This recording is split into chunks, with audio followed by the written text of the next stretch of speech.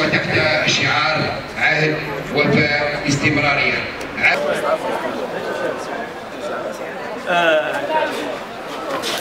هذه الاحتفائية إحنا نظمناها بمناسبة آه، تسمية متوسطة إغلو عزيو القديمة آه، سابقا باسم المجاهد المرحوم وطح مبارك وطبعا وجهنا دعوة للمجتمع المدني والأسرة الثورية وبعض الرياضيين وبعض آه، كذا. ولكن إحنا الهدف من هذا العبرة من هذه من هذه الاحتفائية هو يعني يعني إن شاء الله يكون عبرة نموذج للمؤسسات الأخرى التي لا تحمل جداريات آه، والجدار التي تحمل نبذ آه، عن الشهداء أو المجاهدين المتوفين أو الشخصيات التاريخية أو الشخصيات الفنية أو الرياضية التي أعطت الكثير للجزائر.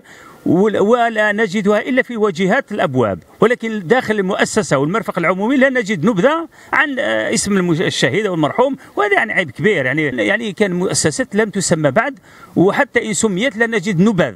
حبذا لو يعني تحذو حذو هذه المؤسسة إن شاء الله لتكون نموذجا معمما. ليس فقط على مستوى بجايه بل على المستوى الوطني إن شاء الله. وشكرا على حضور. وأصالة مني ونيابة عن السادة أعضاء الأمانة الوطنية والسيد الأمين العام للمنظمة الوطنية لأبناء المجاهدين. يشرفني ويسعدني وجودي وتواجدي في هذه الاحتفالية والتي آه، تدخل في إطار تسمية متوسطة بمدينة إيغيل, إيغيل آه، وعزوق بمدينة بجاية التاريخية باسم المجاهد والطاح. مبارك. ومن هذا المنبر الإعلامي المحترم أتوجه بتحية احترام وتقدير وعرفان لكل مجاهدي ولاية بجاية التاريخية. إذا آه، بسم الله آه، تسمية آه، هذه المؤسسة هذه المتوسطة باسم الشهيد وطاح مبارك هي مبادرة لعائلته.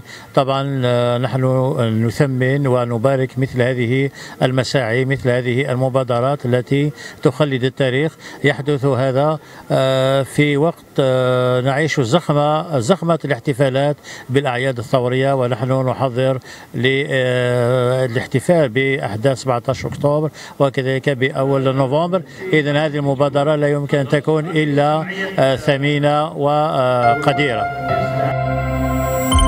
زير تيب أول قناة إلكترونية في الجزائر.